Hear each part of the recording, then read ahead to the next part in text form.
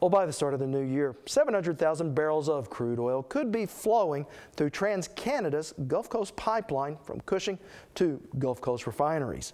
Now, the Gulf Coast pipeline is often confused with TransCanada's Keystone XL pipeline, which is still pending approval by the president. In 2012, President Barack Obama visited Cushing and urged construction of the pipeline's 485 mile southern portion from Cushing to Port Arthur, Texas, but has yet to give his okay for the pipeline to cross the U.S. Canada border.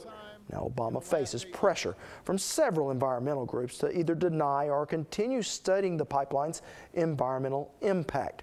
Now, earlier this month, a federal court in Denver upheld a lower court's ruling that refused to stop construction because of those environmental concerns.